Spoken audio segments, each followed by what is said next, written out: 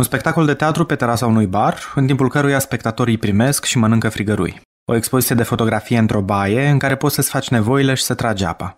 Un blister cu pastile de mămăligă, numite mămălighi.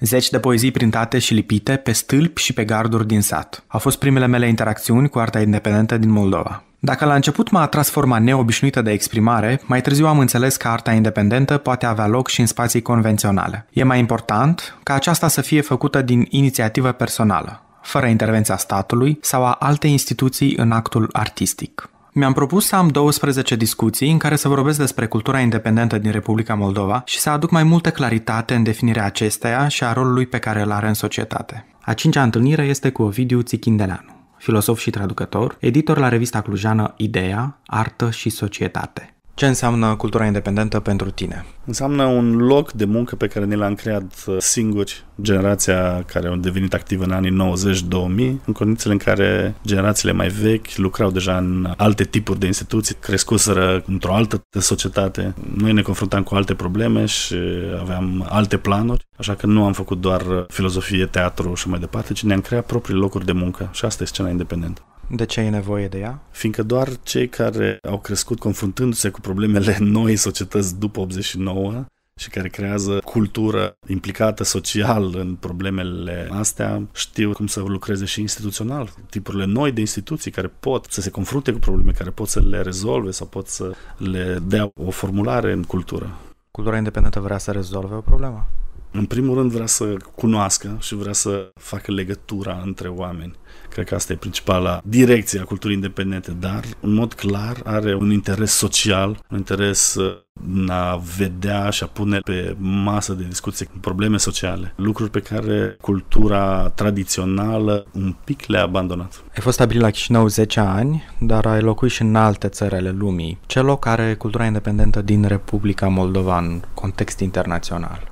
Cred că, în primul rând, cultura independentă din Moldova se auto-subevaluează, fiindcă, de fapt, are o istorie foarte puternică. În toată regiunea, cultura independentă care a apărut în anii 90-2000, în toată regiunea Europei de Est, e un fenomen aparte, care trebuie studiat aparte, care are arhivele, personajele și eroii săi aparte. Chișinău nu face excepție, ba chiar e unul dintre orașele în care a apărut fenomene în teatru, în arte vizuale, în literatură, care trebuie considerate în propriul lor specific. Din punctul ăsta de vedere, cultura independentă e ceea ce a produs, poate, printre cele mai de vârf fenomene pe care le-a produs Chișinău în ultimii 20 de ani.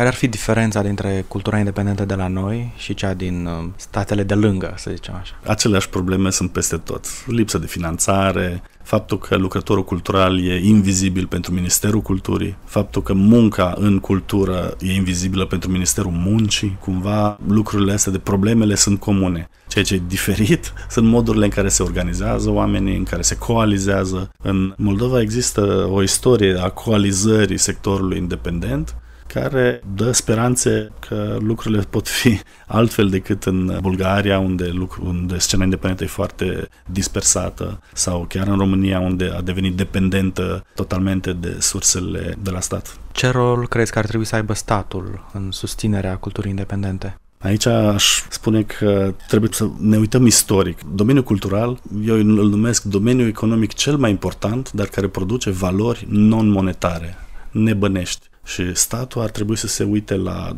domeniul cultural și la scena independentă ca principalul producător de valori, care, din nou, sunt non-monetare. Și fiindcă sunt non-monetare, ele trebuie sprijinite de cineva, iar statul ar trebui să fie principalul sprijin, fiindcă are oameni care lucrează și lucrează dedicat, care sunt implicați social în scena independentă, dar care rămân invizibili pentru Ministerul Muncii, pentru Ministerul Culturii și care au și un viitor incert. Ce se întâmplă cu oamenii ăștia 15-20 de ani de acum înainte? Nu știm. Ministerul Culturii tot vorbește despre bune practici. Ai da un exemplu de bună practică? De atitudine față de cultura independentă? Cred că trebuie să pornim de la lucrurile negative, și anume faptul că există o anumită perspectivă guvernărilor prin care sectorul cultural e rezumat la festivaluri și instituții deja existente. Uniunea scritorilor, revistele tradiționale și așa mai departe. Viziunea asta e mioapă, e o viziune extrem de limitată și care își refuză accesul, de fapt, la ceea ce e mai bogat în sectorul cultural. Din punctul ăsta de vedere, bune practici ar însemna, de fapt, nu pur și simplu să finanțezi sectorul independent, fiindcă sectorul independent are propriile criterii, propriile mecanisme, dar se ofer un sprijin necondiționat, care să însemne, de exemplu, la un fond cultural ca juriul, care decide proiectele să fie tot parte doar din sectorul independent. Asta ar fi un exemplu referitor la relația cu statul. Iar în interiorul sectorului cultural, exemple de bune practici foarte simplu. Teatrul Spălătorie. Teatrul Spălătorie și-au creat o instituție nu doar la modul lucrări de teatru da? sau ca documentar social, dar și ca instituție. Instituție care s-a confruntat la un moment dat da, cu situația de a nu mai exista, da?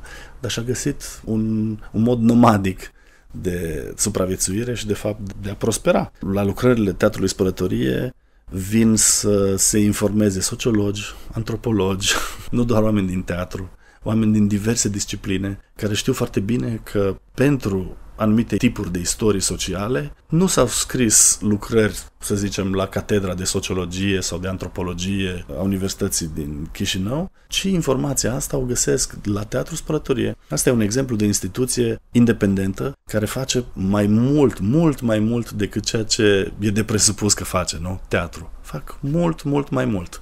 Și multul ăsta, abundența asta, asta e de fapt buna practică a sectorului. Care sunt căile posibile de progres a culturii independente? Coalizarea coalizarea, de exemplu, la Cluj, cu fabrica de pensule, care a fost o instituție independentă, care a reunit alte instituții independente, ai mai mulți artiști, mai multe ONG-uri, mai multe grupe de dans și teatru care pur și simplu stau la o altă într-o clădire și creează o comunitate. Iar asta, la rândul ei, creează o anumită efervescență și devine o scenă, ceea ce se numește într-adevăr o scenă. Cu cât mai mult se coalizează diferiți actori din scena independentă, cu atât mai puternică va fi scena culturală locală. Vorbeai într-un material din 2014 despre dualități. Nu e suficient să spui adevărul ca să reziști ca reprezentant al culturii independente. Care e dualitatea momentului actual?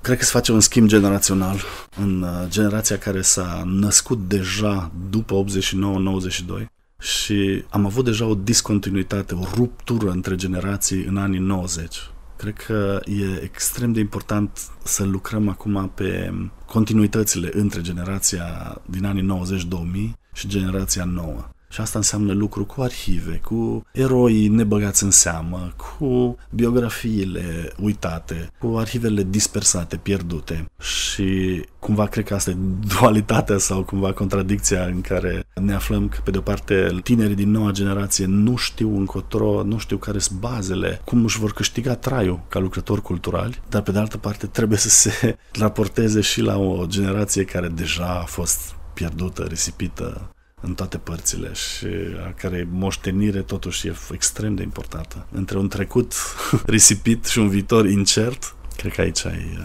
contradicția principală. Aici suntem.